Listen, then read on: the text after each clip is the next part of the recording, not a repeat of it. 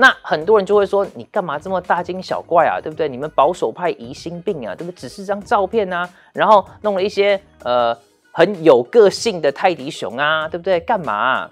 那我们有没有大惊小怪？我们其实看 Balenciaga 他们的反应就知道了。Balenciaga 清空了他们 IG 账号。如果这只是一个不小心的错误，如果这只是呃没什么值得大惊小怪的，他们不就应该就是拍拍肩膀，然后假装没事就好了吗？结果没有。他们清空了他们的 IG 账号，而且发出了长篇的重大声明。这个是他们的损害控制的道歉文的内容。第一波的广告是礼盒广告，内有儿童带着绒毛玩具熊的包包，穿着有人说是 BDSM 的衣着。这边先暂停一下，不是有人说那些是 BDSM 的衣着，那个就是 BDSM 的衣着，那个就是性虐待的衣着。那样的东西还有什么其他的形容词？你会说那样子的衣服是呃牛仔穿的吗？是暴走族穿的吗？我能想到最接近，但是又不是 BDSM 的，大概就是《北斗神拳》里面那些被全四郎打爆头那些虾兵蟹将的衣服。但是那些虾兵蟹将 想做的事情，就是 BDSM 的事情啊，就是性虐待的事情啊。那些皮质的东西跟铁环串在一起，然后锁链一堆锁链的衣服。那些就是性虐、性变态的东西。好，我们来继续读他们的道歉文。我们的绒毛熊包包以及这个礼盒方案不该跟小孩摆在一起，这是巴黎世家犯下的错误。我们没有尽我们的力量来审核这些照片，这个错误的根源来自于巴黎世家。所以他这边说，就是对这些东西不应该跟小孩出现在一起出现，跟不应该跟小孩摆在一起。他们一开始还这边打马虎眼，说什么有些人说这些是 BDSM，但是后来他们的内容就是说，对，抱歉，这些东西就是不应该出现，对不对？对不起，对不起，对不起，对不起。所以我不想要再听到什么保守派大惊小怪，那个就只是一个很可爱又有个性的包包而已啊。因为就连 Balenciaga 巴黎世家他们自己都说，这是一个很奇怪、很恶心、性暗示、性虐待，跟小孩扯在一起。然后他们又继续说，第二个分开的二零二三年春季的广告，这个就是对于那个呃最高法院对于儿童色情片判决那个。他们说这是一个为了要创造一个商业办公室的环境，包括了一张照片，上有一页纸，是关于 United States v. William 在这个二零零八的这个判决结果，证实了儿童色情片是违法的，而且不被宪法第一修正案的言论自由保护。所有照片中的物品都是办公室的道具，结果竟然有真的法律文件混在里面呢，很有可能是来自于某个电视节目的拍摄道具来的。这些没有被我们核准的文件是我们巴黎世家的错，我们已经跟道具组的这个道具来源的公司发出了抗议，我们也会承担所有没有审核以及道具管控失调的责任。我们承认我们可以做得更好。呃，那各位，呃，你相信吗？我不相信啊。各位如果知道我的话，就是。除非是跟圣经的真理是有关系的东西，不然我不太会把东西说到死。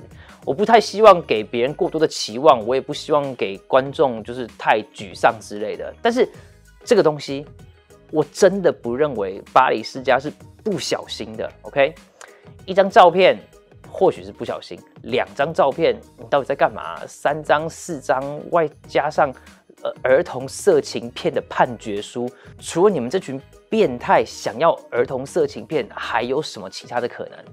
其实整个时尚界都是这个样子的，要女人露这个露那个的，然后每个明星穿着低胸的紧身衣，然后露个事业线在那个地方，硬生生的就是要把自己的小孩养到变性的明星特别多，变成同性恋的特别多，明星自己本身自杀率又特别高，然后巴黎世家在这边出了一个小孩拿着 BDSM 的玩具熊的广告，然后，Oops。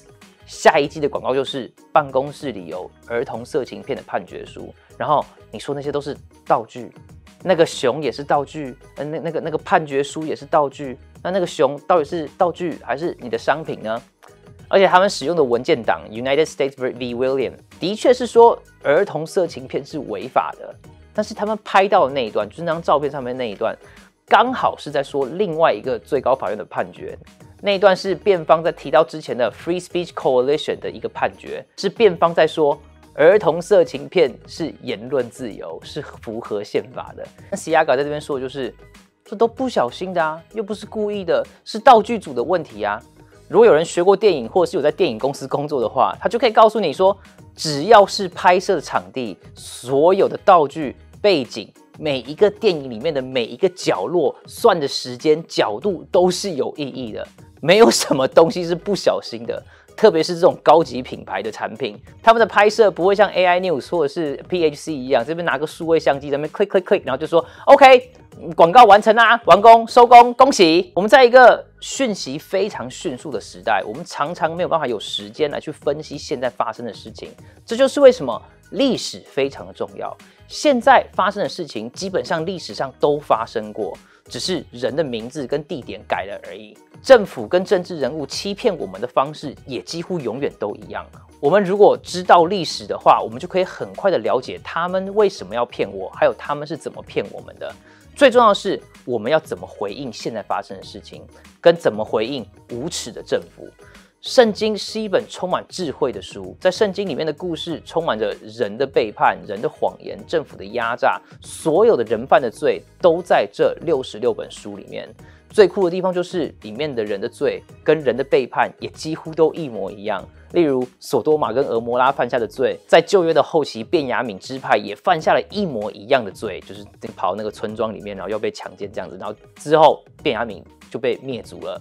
索多玛跟俄摩拉还算是外邦人，当时还没有所谓的犹太人。但是便雅敏的确就是以色列十二支派的其中之一。是圣经在告诉我们，或是神在告诉我们，我们看这些新闻的时候，不但是要看到敌人在做什么，更是要了解我们自己很有可能会做出同样的事情。